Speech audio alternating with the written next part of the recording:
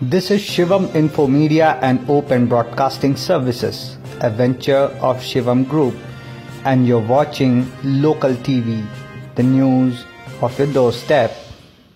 नमस्कार दर्शकों स्वागत करती हूँ आप सबका आज के हमारे कागज़ नगर के ताज़ा तरीन खबरों में आइए देखते हैं सबसे पहले आज की हेडलाइंस नाले में बहने से बचा व्यक्ति माली समाज का नया आंदोलन शराब ना मिलने पर कर ली आत्महत्या कृषि विभाग की ताबड़तोड़ चेकिंग काजीपेट अजनी पैसेंजर होगी फिर से शुरू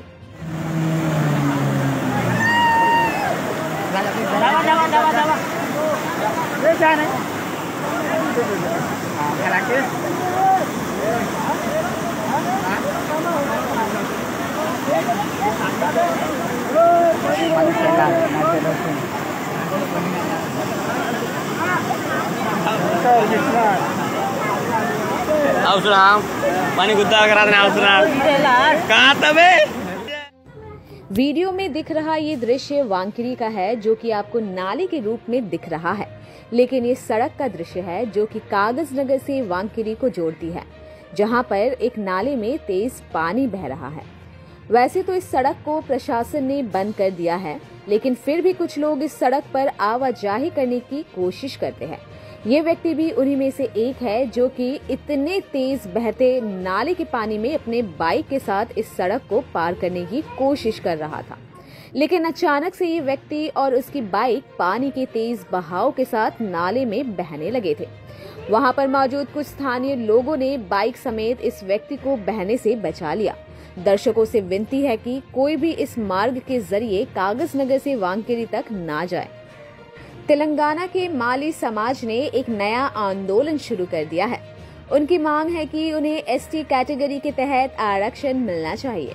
इसी क्रम में कल कागज़ नगर के माली समाज के लोगों ने एसटी आरक्षण से संबंधित एक विनती पत्र जिला अधिकारी कलेक्टर श्री राहुल राज जी के द्वारा राजधानी हैदराबाद के एसटी आयोग को भिजवा दिया।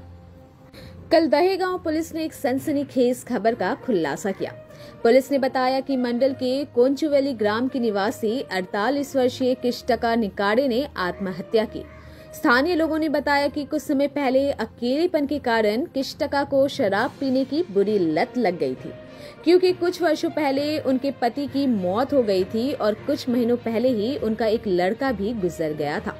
जिसके बाद किष्टका अपने घर पर अकेलेपन से जूझ रही थी और ऐसे में उन्हें शराब की बुरी लत लग गई। इसी बुरी लत के कारण उनकी तबीयत खराब रहने लगी थी। स्थानीय लोगों ने उनका शराब पीना बंद करवा दिया था। शराब ना मिलने के कारण मानसिक तनाव से जूझती हुई किष्टका ने कल फांसी लगाकर जान दे दी। खबरों का सिलसिला आगे बढ़ाएँगे। उसके पहले दर्शकों, आपसे विनती है कि अगर आपको हमारी वीडियोस पसंद आ रही हो तो एक लाइक ज़रूर कर दीजिए। कागज़ नगर के कृषि विभाग के अधिकारी श्री मनोहर जी आजकल कागज़ नगर में ताबड़तोड़ चेकिंग अभियान चला रहे हैं। उनके द्वारा शहर में मौजूद सभी फर्टिलाइजर्स की दुकानों की गहनता से जाँच की जा रही है। दुकानों में मौजूद स्टॉक लाइसेंस और बहीखातों का रिकॉर्ड्स ध्यानपूर्वक चेकिंग की जा रही है।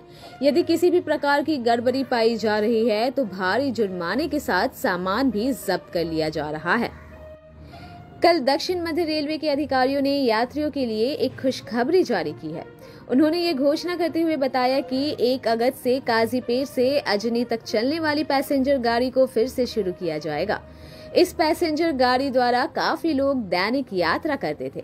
ये गाड़ी नागपुर के अजनी रेलवे स्टेशन से रात आठ बजे निकलती थी, जिससे कि कई लोग रात को अपना काम करके नागपुर से सेवाग्राम की ओर यात्रा करते थे।